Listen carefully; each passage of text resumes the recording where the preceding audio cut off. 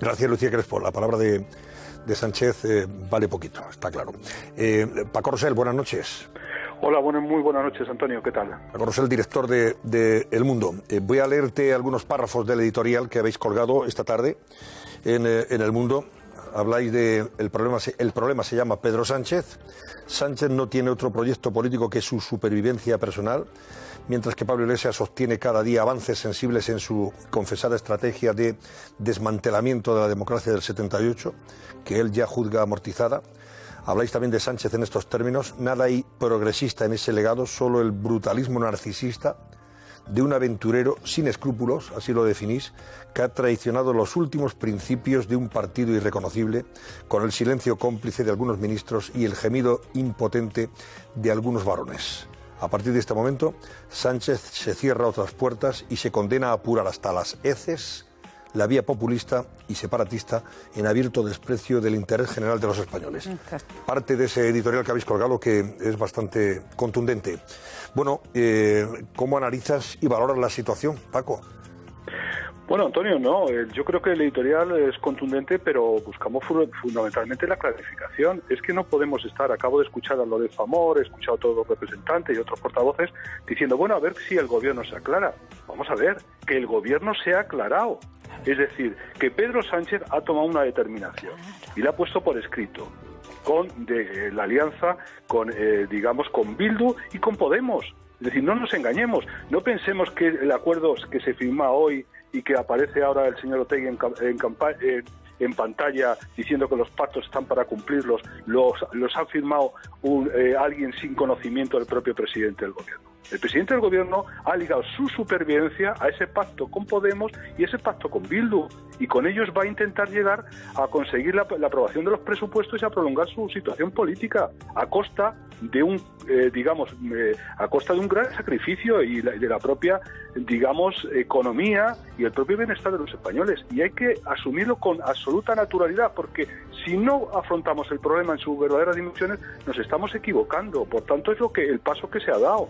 Hemos asistido a la, la, la, la sesión de ayer, que, mm, perdón, la del miércoles, sí, ayer, que fue bastante clarificadora a este respecto. Engañó primero a, a Ciudadanos, al que le ocultó ese, ese pacto con, con Bildu, engañó a su socio tradicional, como es el, PNV, al que también se, lo, eh, se le engañó este pacto para demoler y poner en marcha la contrarreforma laboral, un proyecto que lógicamente está en, en las, en los parámetros de lo que defiende Ciudadanos o en los parámetros que defiende el propio PNV, se lo ocultó para llegar a ese acuerdo con, con, con Bildu. Es decir, este, este acuerdo además va a tener unas consecuencias muy- que va, a colocar a España en una situación muy complicada a la hora de negociar las ayudas que vamos a necesitar de la Unión Europea. Con esta eh, contrarreforma no se va a ningún, a ningún lado. Es decir, él planteaba el dilema recientemente, el yo o el caos, y el presidente del gobierno se ha de- de- demostrado que es el caos y está organizando el caos, y eso está traduciendo la situación tan complicada que estamos viviendo en este- ahora mismo en este, en este país, en el que una minoría, una minoría, se ha apoderado del gobierno de la nación y está ejecutando un plan de demolición de la Constitución y de las libertades de los españoles. Y por tanto, debemos ser conscientes de la gravedad a la que nos enfrentamos y no pues eh, buscar derivadas de que si es esto ha sido lastra, esta no sé qué, ahora la vicepresidenta Nadia Calviño dice que está en contra de eso. Si esto es muy sencillo, ya lo vivimos con Zapatero y Solves. Si la vicepresidenta del gobierno está eh, en desacuerdo con ello y es evidente que está en desacuerdo con ello, tiene muy sencillo, es dimitir y plantear una crisis de gobierno y que la situación se clarifique. España no puede seguir esto, eh, por estos por esta pendiente y yo creo que es eh, responde un poco Antonio al, al editorial que acabas de leer. Y claro, eh, dicho así todo esto, eh, dejas poco margen a la- al optimismo o, o a la esperanza. No, Eh, porque pero, hay pero, alguna Antonio, alternativa. Pero vamos a ver si el Paco? optimismo, Antonio, es Sí, muy sí. sencillo. El optimismo es muy sencillo. El que tiene capacidad para elegir es el presidente Sánchez. Sí. El presidente Sánchez puede llegar a un acuerdo y puede eh, para, eh, para abordar esta situación gra- grave es llegar a un acuerdo con el Partido Popular, que es lo que le pedimos después de las elecciones.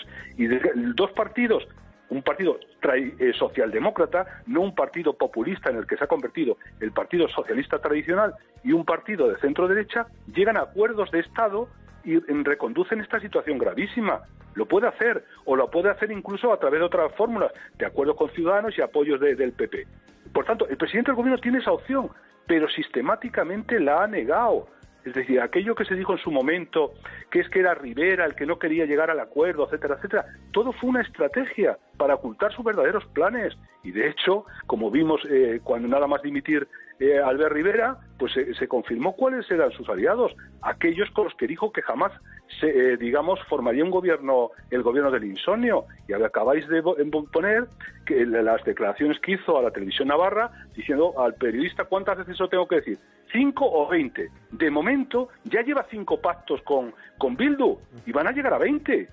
Es que esto es, dramático, Antonio, y es dramático una situación añadida. Es decir, es que la víspera del, eh, del, eh, del, debate de, para la prórroga de, del estado de alarma, es decir, la, la principal dirigente del Partido Socialista y Doña Mendía veía cómo en su propio domicilio particular le arrojaban los bildutarras, el propio Bildu con el que pactaba el presidente del gobierno ese acuerdo de contrarreforma, eh, contra, eh, eh, contrarreforma laboral, le llenaban de pintura roja y le amenazaban de muerte.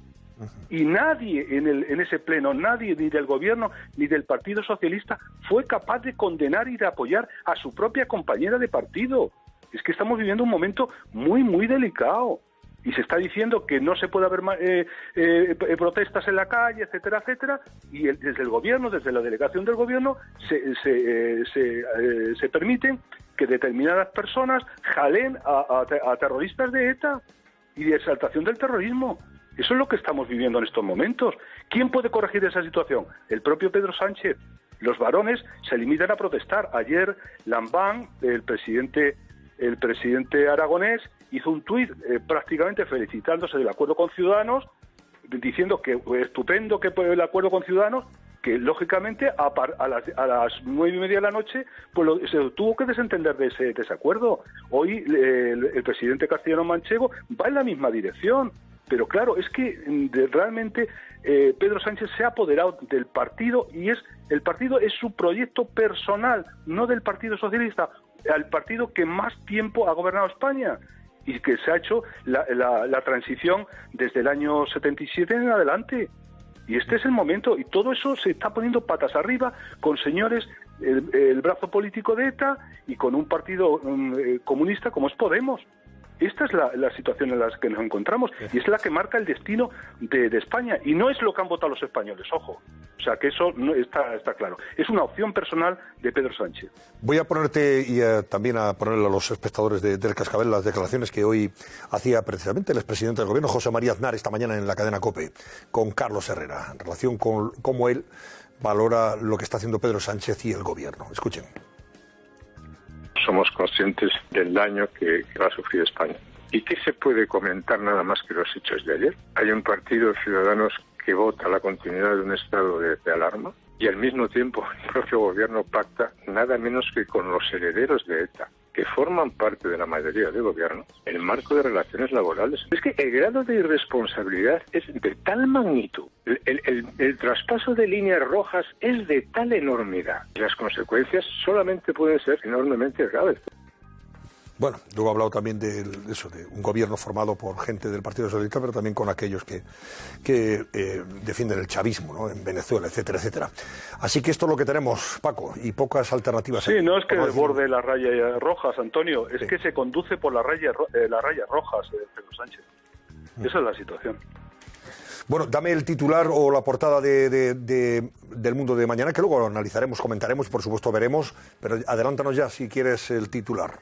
Bueno, lo que subrayamos es que el acuerdo con, con Bildu debilita al, propio Pedro Sánchez, que le deja en una situación muy, muy, muy complicada para gobernar este país. Vamos por esa, por esa línea. Muy bien. Paco Rosel, gracias y buenas noches. Paco Rosel, director de, del Mundo. Bueno, tenemos... Eh,